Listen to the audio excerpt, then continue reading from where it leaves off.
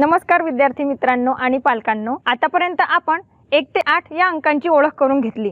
आणि हे करत असताना आपण प्रत्यक्ष कृतीतून आपल्या पाल्याचा सहभागही घेतला. आज आपण नऊ या अंकाची ओळख करून घेणार आहोत. विद्यार्थी हा प्रत्यक्ष कृतीतून शिकत असतो. म्हणूनच आपल्याला आपल्या परिसरातील दगड पाने फुले काड्या या वस्तूंचा वापर करून घ्यायचा आहे. सर्व पालकांनी आपल्या पाल्य नऊ हा अंक योग्य पद्धतीने आणि योग्य दिशेने लिहितो आहे का नाही याकडे कटाक्षाने लक्ष द्यायचं आहे. या पाठातील कृती केल्यानंतर आपला पाल्य नऊ हा अंक योग्य पद्धतीने लिहू शकणार आहे. तसेच नऊ या नऊ वस्तू बाजूला सुद्धा काढू काढू शकणार आहे. चला तर मग नऊ या अंकाची ओळख करून घेऊया.